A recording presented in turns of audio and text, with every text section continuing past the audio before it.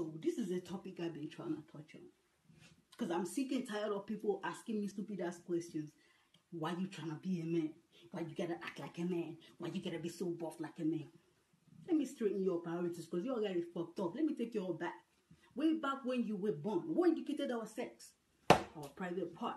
You came into this world as a man, you got a dick. Like a woman, myself, came with a pussy. And when I was old enough, I developed these babies that I love so much and would trade for the world.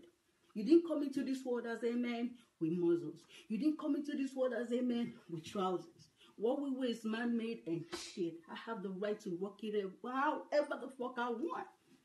And I have the ability to build my body and I'm a beauty to my taste.